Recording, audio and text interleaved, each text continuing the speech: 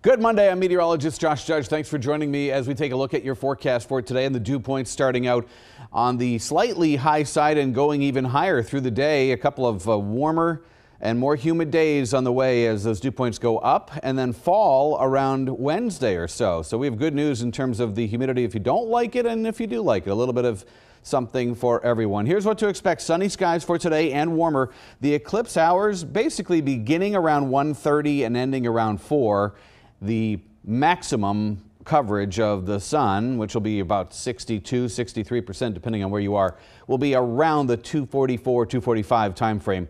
But in between those several hour periods there, you can see it'll be slowly uh, uh, going underway there and a warm one for it. Hot and humid for tomorrow as well with some afternoon and evening showers and thunderstorms and turning cooler and less humid Wednesday and right into the weekend too. So lots of sunshine on tap for today with just a few passing cumulus uh, clouds, decorative clouds at times out there, as you can see there on Futurecast.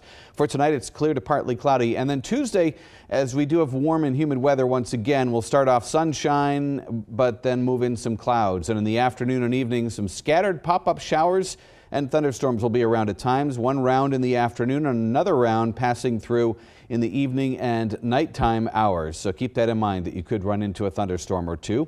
Wednesday clearing out again and lower humidity as well. High temperatures for today on the warm side. Most of us in the mid to upper 80s. A spot or two could hit near 90 in the southern Merrimack Valley. Down into the 60s tonight for most of us, 50s in the North Country. And for your Tuesday, as I mentioned, some afternoon or evening showers and thunderstorms. Temperatures, meanwhile, in the 80s to near 90 once again. And Wednesday cooling off after an early morning shower or thunderstorm, as you can see there, 70s north, 80s elsewhere. So there's a look at it on your extended forecast here.